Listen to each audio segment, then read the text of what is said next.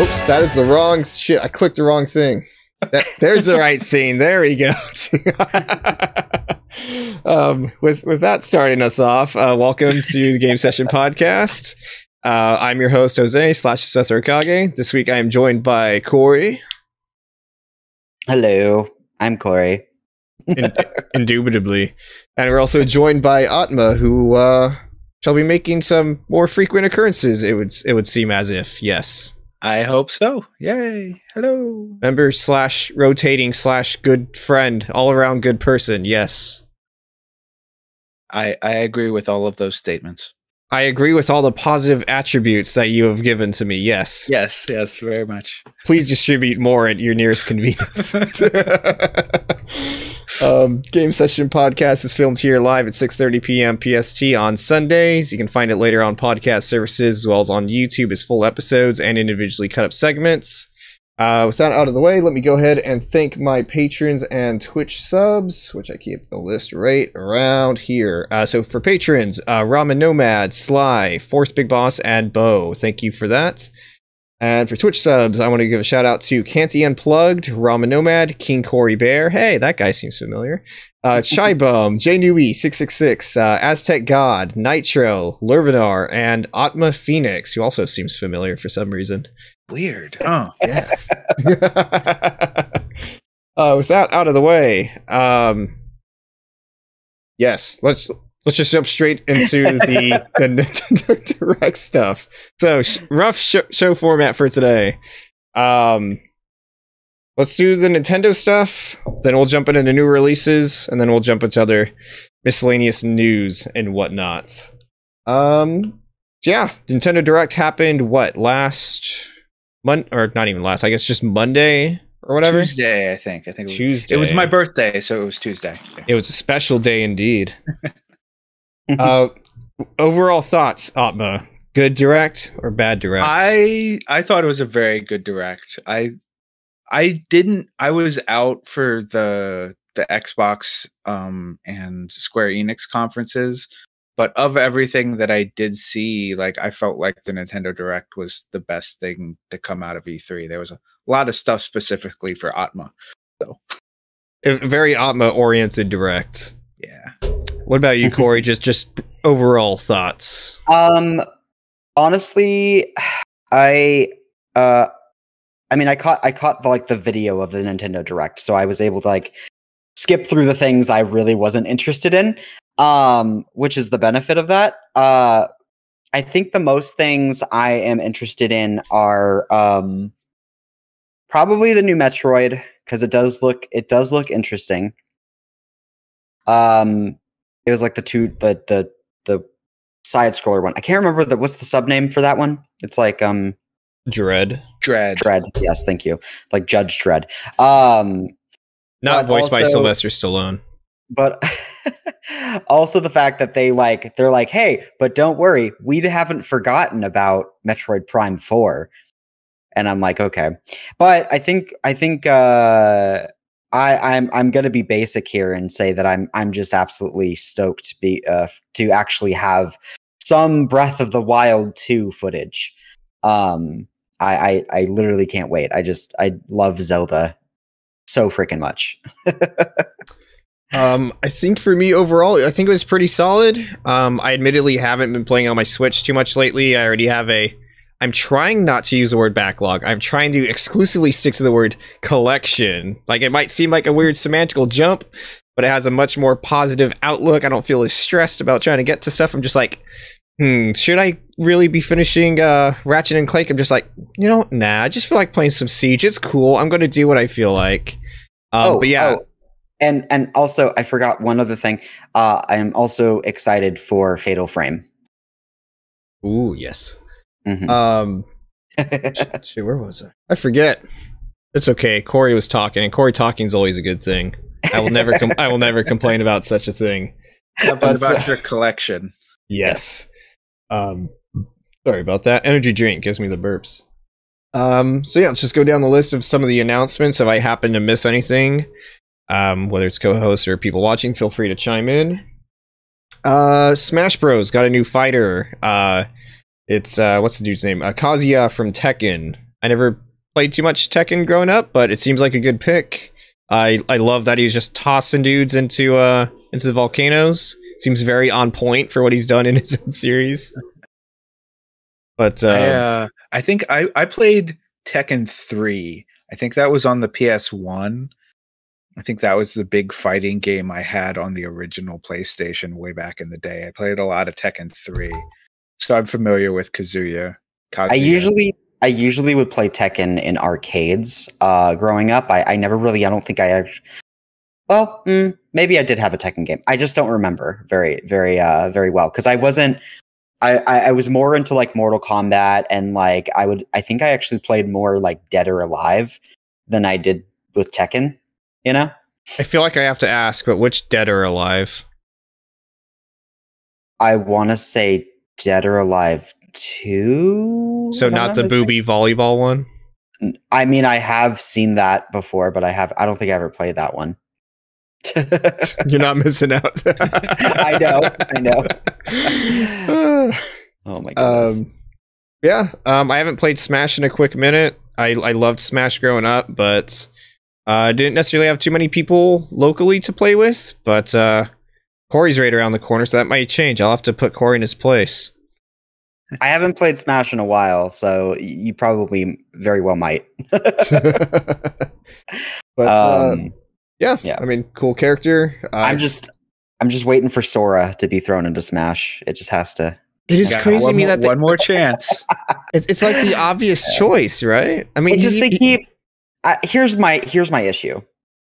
They keep throwing in Fire Emblem characters or slash anime characters. Uh, or they keep throwing in like actual like fighting game characters which makes sense i understand like it's a it's a fighting game but like you're talking about a game that has freaking like mario and sonic and like metal gear and like at, like in in the same game like think more outside the box nintendo don't just put fight don't put fighters in a fighting game like come on Like, I, I don't know. I think they could use like maybe like ten extra Fire Emblem characters. Oh yeah, just at least at least ten more. There's so many more Fire Emblem characters, you know. Yeah. I mean, you get like thirty allies in each game. Why not just shove all of them in there? Yeah. Yeah. Get get some more freaking incest and eugenics going on. And yeah, I don't think I've had the Fire Emblem discussion with either of you, but there's some there's some messed up shit in there. Um, well, I, under, I, I understand they really wanted to draw in the Fire Emblem community because um, there is a big following for Fire Emblem. Like, let's be honest. So they wanted they wanted Fire Emblem players to have a reason to actually enjoy playing Smash Brothers. There, so. it, it is not a coincidence that Fire Emblem was financially saved the second they put in dating elements in there. Mm-hmm. Wait, what, what are people saying in chat? Um, uh, Waypoint set CJ, our, our buddy CJ on from last week, says for suggestions to be Master Chief, Kazuma Kiryu, CJ from San Andreas need to be in Smash. Hell yeah. Oh CJ's ultimate is is a train and he has to catch up to it or something. Or that maybe is number true. Uh, Canty Unplugged did make a statement saying dating elements improve all games. That's a fact, actually. Um, yeah. uh, let's see. Uh, Breath of the Wild 2. It showed off some weird stuff, to be honest. So it's just just some stuff I caught from it. Is uh, there's a lot of falling from the sky, kind of like in the same vein as Skyward Sword. Um, there appears, appears to be some kind of new power where you turn into a green little teardrop, but you float up and through objects. There's a bunch of sky land masses, once again, kind of like Skyward Sword, which is kind of making me see why they're remastering that one in particular. Uh, set for 2022, and apparently you can have a flamethrower, which is pretty cool. Yeah, like it suddenly with seeing that footage, it makes sense why they are doing a remaster of Skyward Sword because mm-hmm. they are extending the map of uh, Hyrule to now include the sky. So it's like, you know, here yeah. we are. What about you, Atma? Any thoughts on Breath of the Wild 2? Uh, so I am one of those strange, weird people that did not like Breath of the Wild. Um, so I have no thoughts, head empty. I am I am Uh, curious, and and more power to you because I I don't think that's strange at all. I have heard of people like not liking it. What is your reasoning? I would like. I'm curious.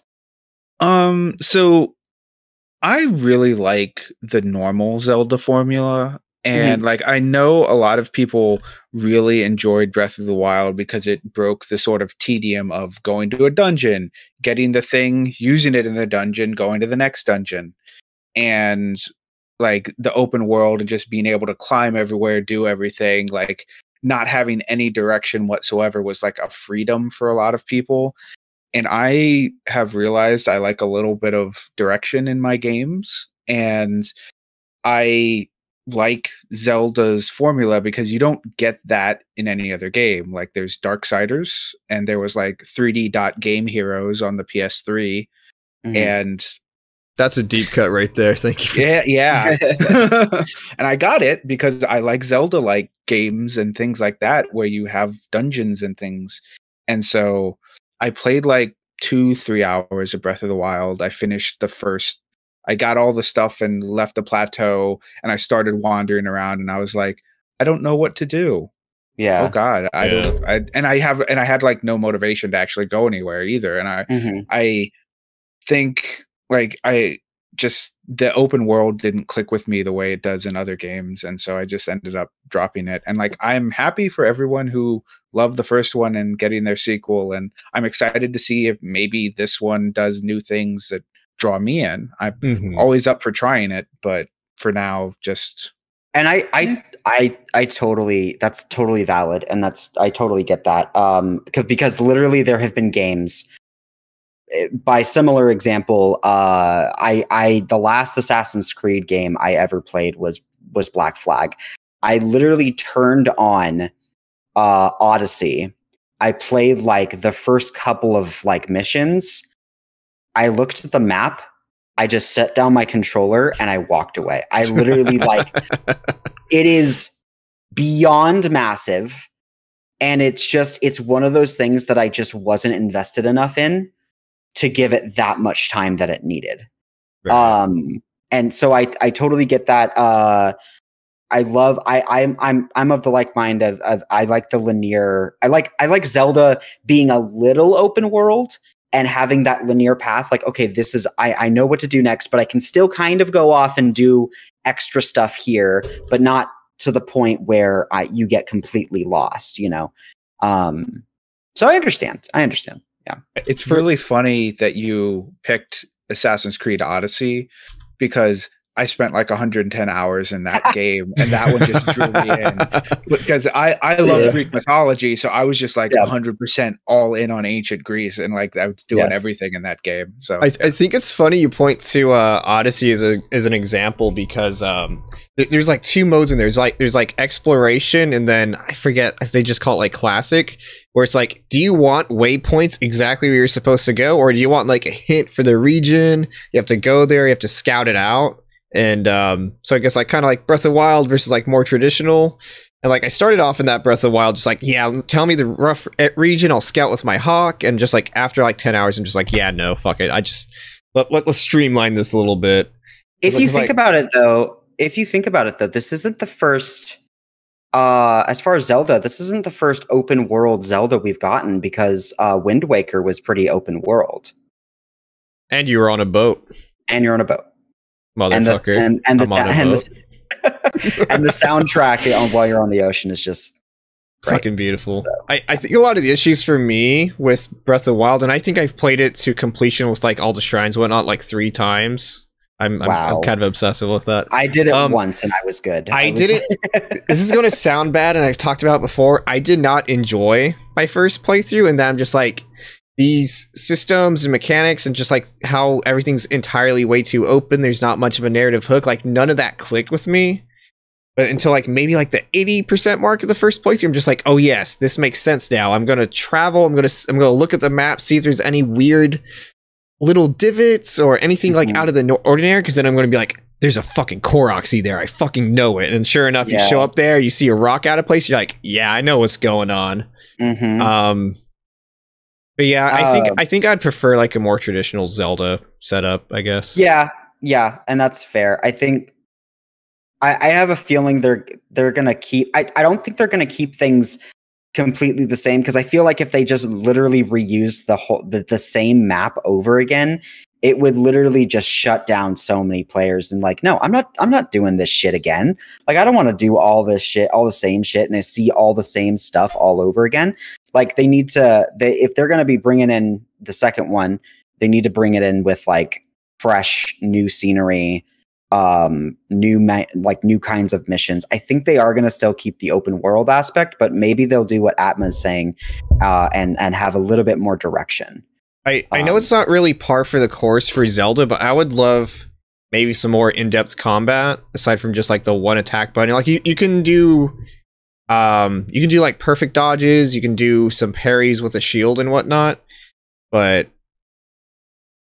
how how did the two of you feel about the weapon degradation? Like like to me, I got used to it. It wasn't a burden, but it wasn't actively like, oh yes, I I enjoy having it in here. Like I could go either way. I'm I feel like I'm the same. I I I honestly could go with or without it. It doesn't really make a difference to me. Yeah, Um, I I didn't have any particular feelings for or against it. One thing I did though have an issue with. I don't I don't think I don't think many people have an issue with this, but I have an issue with it because most Zelda games have an has a have a musical instrument in the game that you can use. And the fact that they didn't have they didn't implement a musical instrument deeply saddened me. Because like Ocarina of Time, Majora's Mask, they both have the ocarina. You get Wind Waker, Wind Waker with the freaking baton. You get uh you get a harp in Skyward Sword. In Twilight Princess, you you're a wolf that howls. Like, you know, it's just give me a musical instrument. Your musical instrument is your sword as you carve a symphony of death through your enemies, Corey. No, they gave you an iPad that's clearly better than a musical instrument. You can play MP3s on the, the yeah. Your musical instrument is every time you get closer to a shrine, and it does that dit dit dit dit or whatever sound it is, and it just won't turn off. I just I I I like I don't know what it is, but I really like musical instrument implement uh, implement im, implementations. Im- I im- even- implementation, Melissa. I like it when they implement music musical stuff like in games because it's it like there's there's I I don't know there's like no other game that's that's similar to when you get to use the ocarina in Ocarina of Time and Majora's Mask. Like it's I- just it's so unique. You know? I feel Um, like I'll understand the two of you on a very deep human level by asking this question. Favorite Zelda game? Ocarina of Time. Link to the Past. Ooh. that's a good. That's a really good one.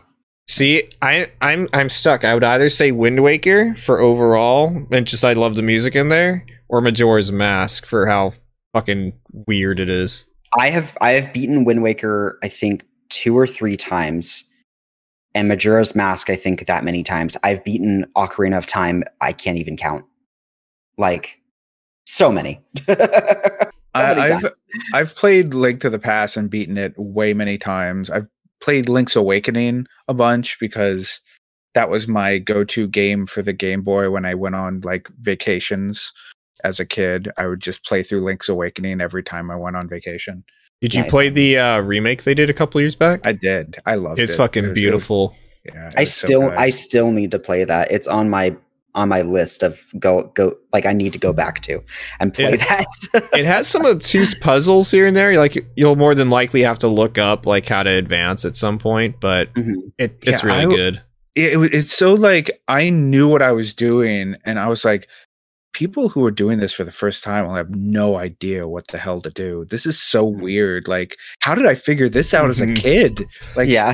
Yeah, the early Zeldas, I want to say like even maybe maybe not Links to the Past had the issue, but there's just like some really obtuse. Just like how are you realistically supposed to figure that out without talking to someone or looking up a guide or and it was harder back then. You didn't you couldn't just go ign.com slash walkthrough whatever. Yep, exactly. You had to have like a walkthrough book or something.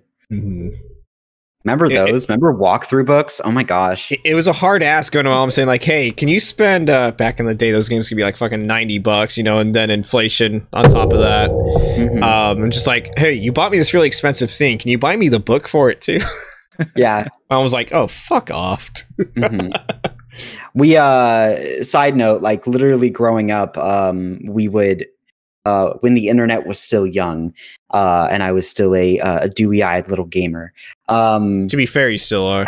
i still am thank you uh but uh my my my brother or my mom would uh print out like you know how when people would like li- i mean people still do it nowadays but like you know how when people would ear- early on they would type entire like custom walkthroughs of like in like html format and then you could print that out on your home printer and like just go through it. We would do that for like all like uh horror games or like you know like silent hill like the original silent hills when we were going through them. We would literally have my mom like reading the strategy guide while we went through it. Mm-hmm. and like uh, and she's like oh wait no go back to this door or something like that and I was um so crazy I was just I was just typing in the chat, just like I I legitimately miss like just going to like whatever random grocery store, just being like, let me grab a copy of Nintendo Power or get a game guide. Like half the time, um, I would just read through the guide for fucking fun, just like find out secrets, and then make maybe I even get the game like a year later. I'm just like, huh, I already know everything there is to know about this. right yeah that was a fun experience i think growing up is is literally those game guides My my favorite game guide is for uh, Final Fantasy VI, um, Oh. because the it, I don't remember exactly who wrote it, but it's like it's almost written like a story, and it's like funny. There is humor involved and Mhm. everything, and sometimes instead of playing the game, I'll just read through the guide again and Mhm. get like nearly the same experience as playing the game and uh yeah that that's always been my favorite guide that i've ever ever purchased is that specific one That's pretty cool. Yeah, I love that